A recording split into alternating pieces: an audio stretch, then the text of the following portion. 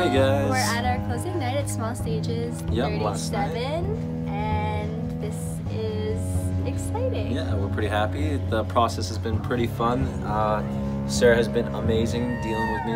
I kinda, I'm pretty crazy, kinda chill, but No, yeah, it was She- good. she did good. We're all we're both such like different movers, but the same. So it was nice to just explore each other's different impulses, and I feel like from the beginning to what it is now is like such a beautiful like change,